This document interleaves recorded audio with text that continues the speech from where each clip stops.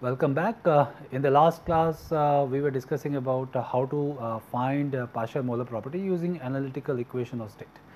In today's class, we will start with uh, uh, obtaining partial molar property through experimental data.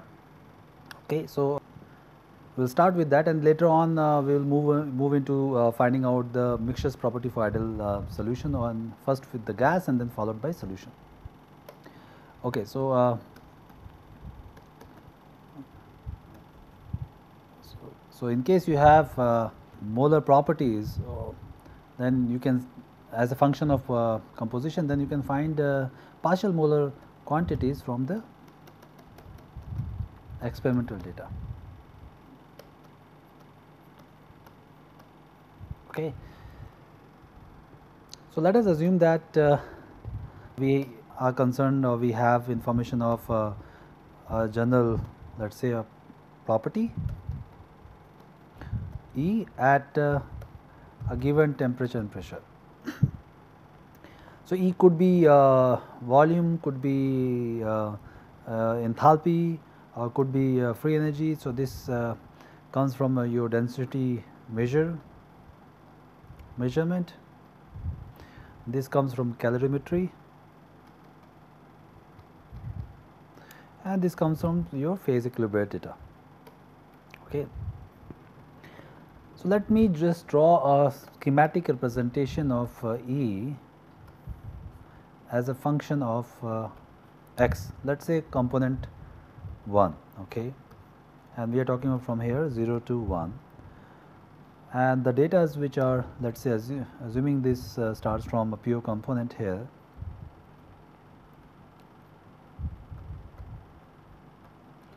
so these are the data okay so i'll let me draw a kind of a dashed line which follows this data.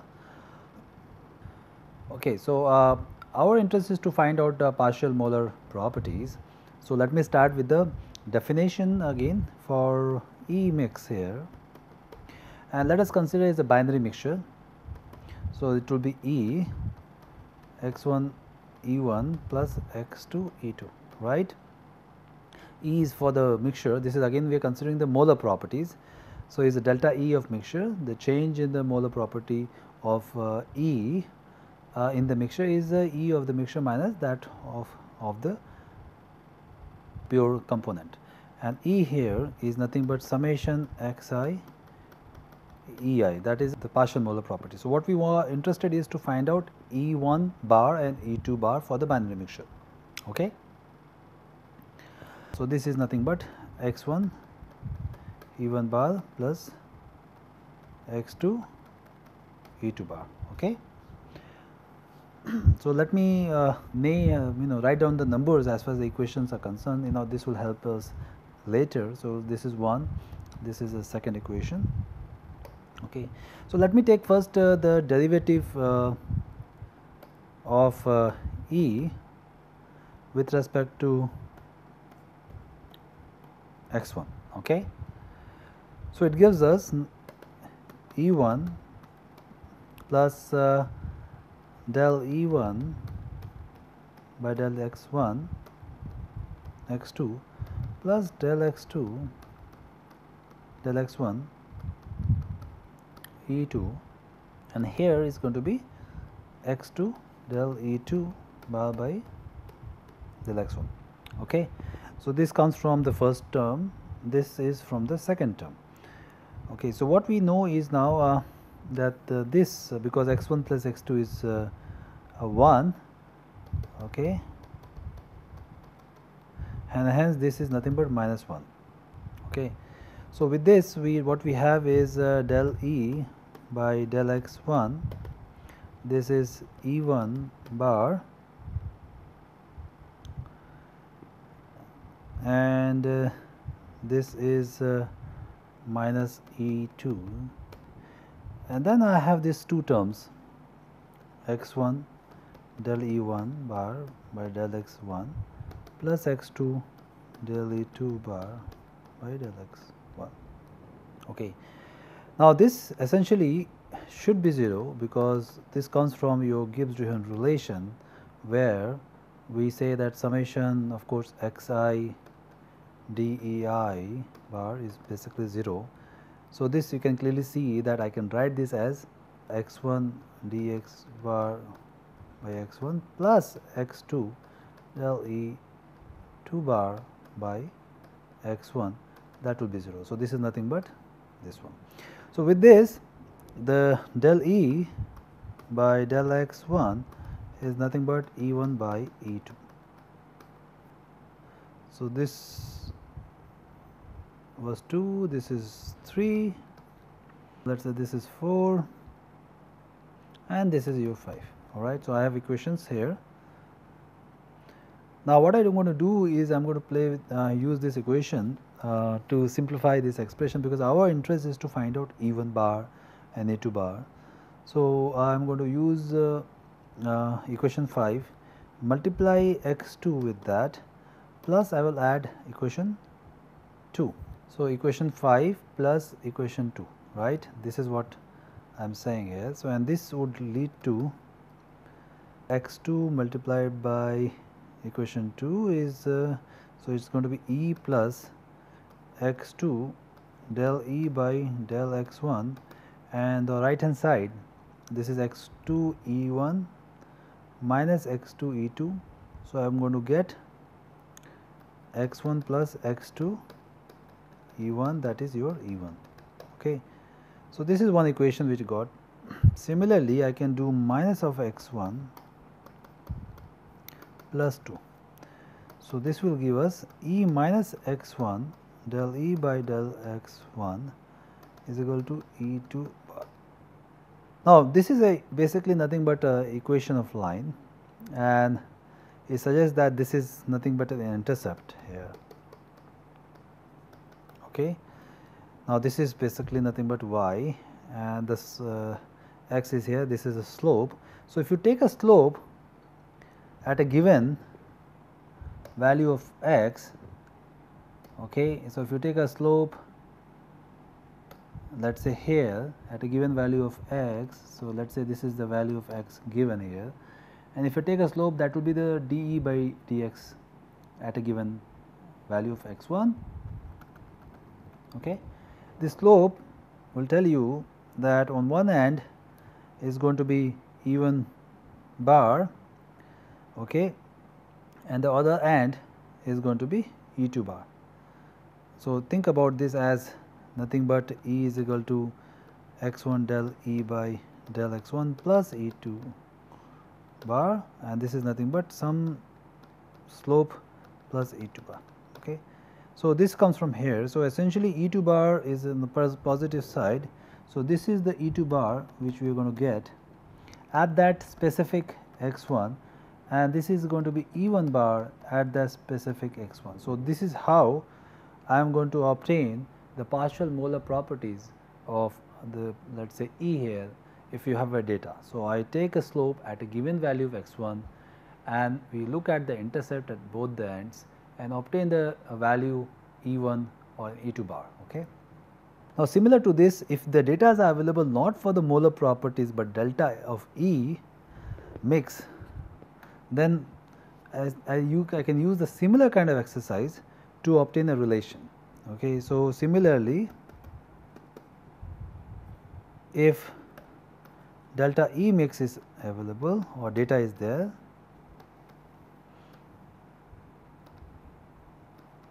okay, the difference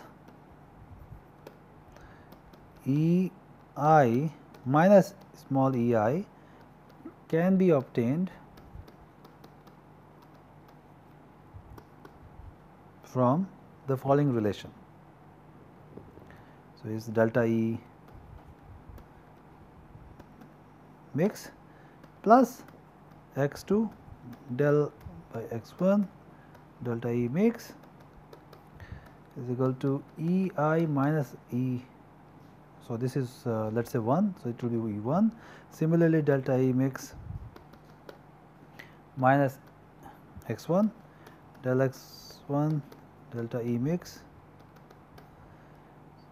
Okay so this is going to be 1 this was 2 and right this is going to be E2 minus E2 okay so this is the way to obtain the relation if you if the information which is given to you is delta E mix. Okay so that is the kind of explanation or rather the way we wanted to describe particularly using the data given to us in the form of E or delta E as a function of the composition okay now, uh, let me try to further summarize the information of uh, mixture property. So, we talked about uh, delta E in general, but uh, let me just be very specific now. We can talk about delta G here. So, delta G for mix can be shown as simply delta H mix for a given temperature. Okay. So, this is something which we can show okay. and that you can prove in the following way that your delta G mix is nothing but G minus summation Ni Gi bar for the pure case all right. This I can write as H minus Ts minus summation Ni this is nothing but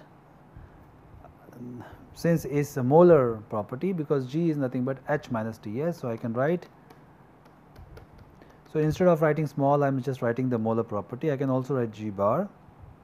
And here I can write this as summation Ni Hi bar okay or small g. This is also good for us. So, this is for the pure case right? And then I am trying to rearrange the temperature the, the second term T which is going to be S minus summation Ni Si bar. Okay and this is nothing but delta H mix and this is nothing but delta S mix okay. So, we can show this and similarly we can show other things also let me just quickly uh, uh, try to write it down for the sake of reference. For example, Gi bar we can show Gi bar to be simply Hi bar minus T Si bar.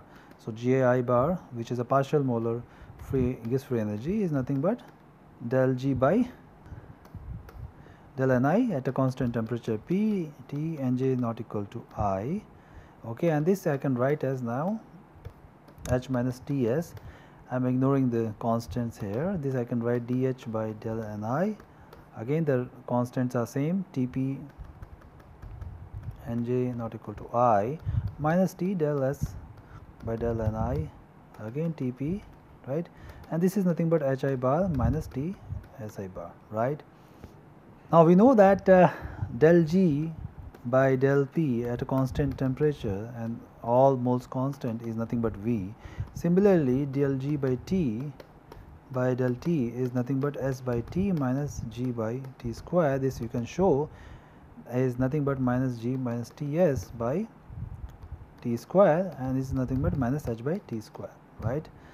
Now, I can extend this exercise for all partial and delta G mixtures. For example, I can write this as I can without proving it I can say that del of G mix by del P at T and all other components fixed and the moles of the components fixed is nothing but del X mix okay. So, this is what I can show. So, you can just use this information extend directly to the mixtures. Similarly, I can write here as del G I bar del P T and uh, x constant is del mu i because del g i bar is nothing but mu i. Del p this is nothing but vi bar okay? The same thing. So we are using here bar and what you're getting is another bar here okay? So we are extending simple expression directly for delta delta term or bar term okay? So that means um, the mixture change in the properties or is a partial molar properties. Similarly here i can write do the ex extent here also for the mixtures uh, with respect to the temperature. So, that means I can write this as simply mixed here divided by delta T this is nothing but delta H mix okay. Similarly, you can extend this also in terms of uh, del mu i by T you can show that this is also nothing but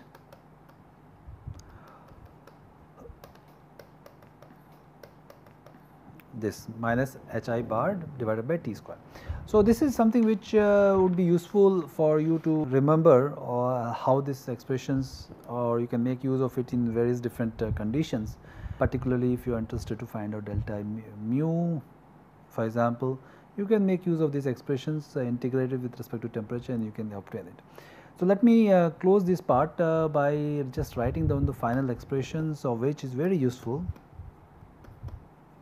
This delta G mix with respect to del n i okay, at a constant T p and j not equal to i and this can be written or can be shown that this is related to nothing but the delta mu. But so, let me just write down first the expansion of this uh, G mix uh, this should be delta here. So, this is G minus summation N i mu i T p pure right.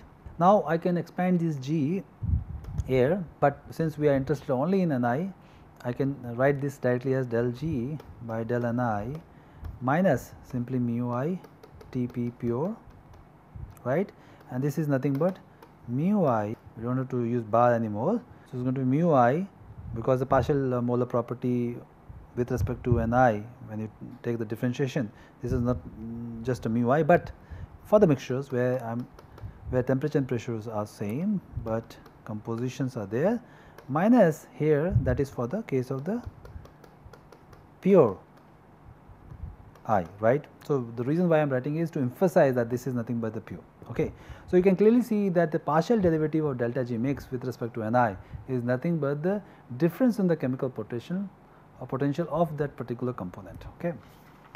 So, we are going to use this information little later. Okay. Now, uh, so this is something which I would like to end as far as uh, the partial molar properties are concerned.